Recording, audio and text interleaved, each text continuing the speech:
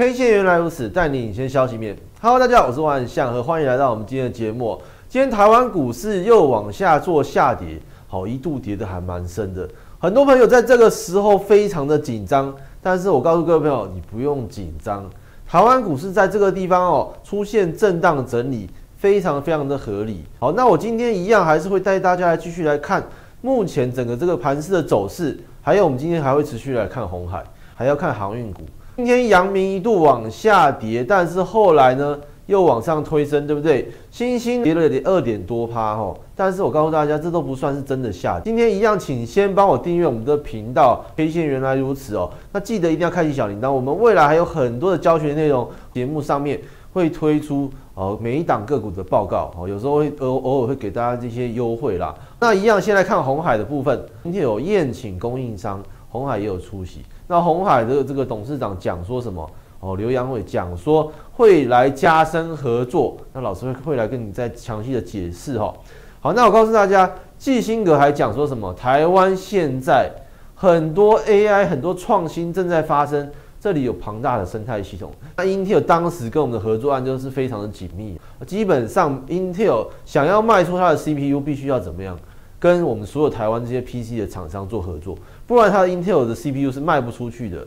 好，所以我告诉大家，台湾在你 PC 产业，还有未来的 AI 产业发展哦，会持续看好。好，那所有的业绩会持续做成长。好，大家千万不要忘记这件事情。哈，一样先带大家看口诀。我们原 K 线的口诀，第一个是周线看大势，日线看幅度，再来是小时找承压，最后是克分进出点。请你记住四个口诀，对你未来哦都会持续有帮助。我们来看一下红海大师是什么。红海大师是从盘整式开始往上涨，那你会问老师，现在这上涨势是不是要走完了？那还没有要走完。目前来讲，大家看到日线图的部分，高档有没有大单出货？目前你会发现都没有这个状况出现哦。在这个上个礼拜曾经到一百八十六块，对不对？上个礼拜的时候就已经画两条线给大家看了，就告诉大家这边会开始出现波动盘整整理。好，那目前还在这个区间之内。假设它今天要往下跌。哦，跌到五月二十一号最低点一百六十五点五块。哦，假假设它如果它真的跌破了，那再来考虑说，哎，我们是不是真的买错了？好，那是目前都没有这种迹象，所以我告诉大家啊，你现在还不用太担心。现在回档都是还能买进的机会。日线图上的黑 K 啊，已经连续五天都是黑 K 了，但是跌幅都没有持续的放大，反而是都在这个区间内啊，在目前已经快要跌不下来了，很快会出现继续的往上做一个反攻。所以大家可以持续来做期待，千万不要浪费这个机会，这也是送分题之一哈。好，再来我们看另外一档股票是什么？航运股哈，有一个新闻讲说什么？台华投控哦，讲说一个月之内又加码长荣一千五百五十张。我认为这张数并不是很多啦，不过还是可以当做参考。好，那最新的这个上海出口集装箱运价指数哦，这个 SCFI 哦，哦四大远航全部啊，所有的航线都在涨。已经连续八涨了哈，涨幅高达多少？十二点六三。那我告诉大家，你会发现，哎，运价一直在涨，因为它对整体航运业有没有帮助？当然是有帮助嘛。好，那台华其实这个也是哦，我认为它也是在短线操作哈。它四月二十九号到五月二十四号的时候卖了长荣一千四百三十五张哈，那均价在两百零六块多哈。五月八号到六月三号，他又买了一千五百五十张哈。那是买在两百零二块左右哈，那其实这价差也没有很大，差了四块钱而已。好，但是它目前总计累积已经有三千一百张。好，那我告诉大家，其实台华敢进去买哦，其实它还是看好的。那整体航运业的这题材，美东的这个码头还在持续在罢工当中。中国的出口为了要规避这美国的关税哦，一样啊，开始啊出口量可能会先出口到南美之后再洗个产地之类的。然后地缘政治哈，这以色列跟哈马斯还没有结束嘛。所以地缘政治风险还在，都会造成运价大涨，最后是货柜哦不够用，所以大家还在抢货柜哦。那我告诉大家，整个运价航运业的这个走势哦，还会持续上涨。你不要以为就涨完了，好，前几天开始，这个尤其阳明有一天突然跌得特别重，对不对？哦，你可能很担心，但看大势，盘整市才刚刚走完，准备要进入到上涨的市哈。目前为什么涨不动？最主要就是因为你看周 K 线就知道，非常的清楚哦。二零二一年、二零二二年有没有压力？上方已经帮大家画出来了，上面是有压力的，所以不用太紧张。现在涨上来会有解套卖压哦，所以有些人想要卖，非常的正常。二一年、二二年套了两年了，哦，它好不容易涨回来，对不对？所以会有解套卖压，这个很合情合理。但是我告诉大家，现在还刚刚开始要涨，如果你把股票卖掉，基本上哦算是一个阿呆的行为哦。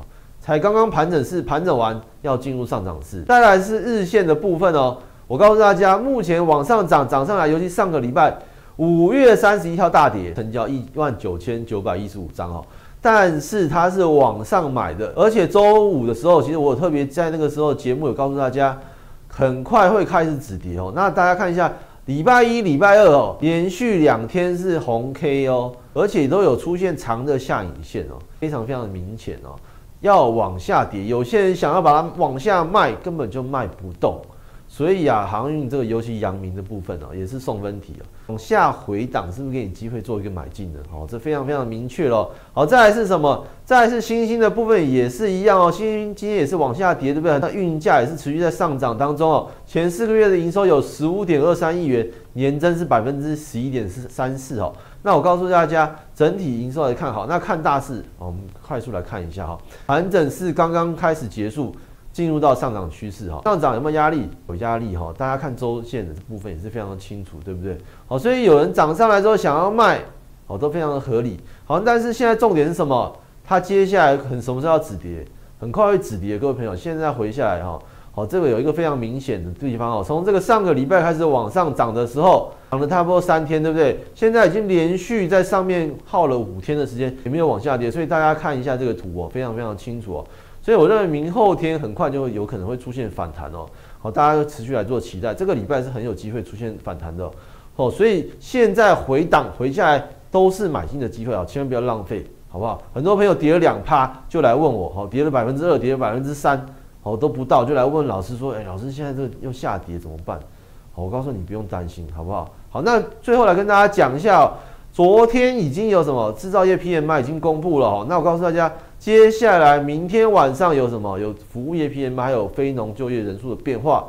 好，这两个数据也是非常的重要。明天的这个波动可能也会加剧哦。再来是礼拜五的非农数据哦，非农就业人口的数据哈，这是这个每个月最重要的事情哈，大家会持续来看，我们持续来做追踪，好不好？我再跟大家讲加权指数的部分哦。上个月四月份跌下来的时候，好是七千多亿的成交额。五月三十一号呢是多少？是。六千多亿的成交额往下跌，但是出现大量，各位朋友，这个都是非常明显的证据哦。好，所以目前跌下来的时候，大家要记住哦，往下跌出现大量是不合理的。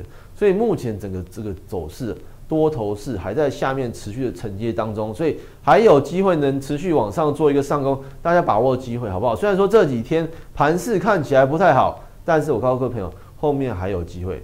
台湾股市。整理之后呢，继续往上做上攻的哈。最后跟大家讲，公司最近有有要我们推出一个方案哈，这个是端午节一个短期的方案，三个月是两万八千八百块哦。好，那我告诉大家是让大家能够试试看，说能不能够诶跟着我们操作怎么样的状况哦。好，所以公司特别推出一个短期的，好，这个方案是两万八千八百块。那我告诉大家，这个方案哦，只是让你来参加哦，让我们短期让你试验一下，说我们诶操操作到底是怎么样子的哈。那我告诉大家，有些朋友可能持续看我们这股票，都持续在验证当中。但是我告诉大家，我们这股票哦，事实上都是买在盘整区，所以未来上涨都有非常大的波段，可以尝试试试看，跟着我们的脚步一起来做操作，好不好？那就明天再见了，拜拜。